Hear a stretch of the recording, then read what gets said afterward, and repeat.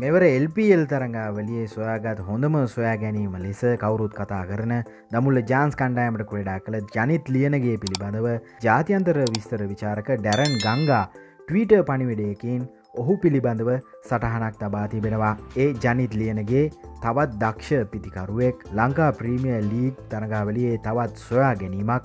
මම ඉතාමත් උද්‍යෝගෙන් බලාගෙන සිටිනවා ඔබ අනාගතයේදී. ශ්‍රංකා ජාතික ක්‍රිකට් කණ්ඩායමට ක්‍රීඩා කරන දිනය උදාවෙන තුරු.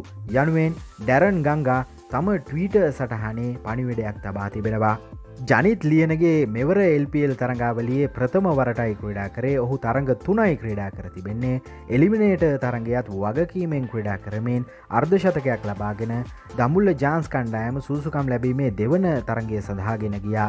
ඊට පෙර ඔහු ක්‍රඩා කළ පළවෙනි තරගේම අර්ධශතකයක් ලබා ගැනීමට සමත් වනේ වේගවත්ව පන්දුවට පහරදීමෙන් ඔහු අවස්ථානුකූලව තමාගේ ඉනිම වෙනස් කර ගනිමින් බුද්ධයෙන් ක්‍රිකට් ක්‍රඩා කරන ක්‍රඩකයෙක් ලෙසත් විසි හය හැවරිදි ජනිත් ලියනගේ කා අතර කතා බහටලක් වී තිබෙනවා. එ අනුව අනාගතයේදී ජාතික කණ්ඩායමේ ජනිත් ලියනගේට බොහෝ දුරට අවස්ථාවක් ලැබෙනවා ඇත්තේ ශ්‍රී ලංකා සංවර්ධන කණ්ඩායමේත් මේ වන විට සිටින නිසා. චැනල් එක සබස්ක්‍රයිබ් කරන්න.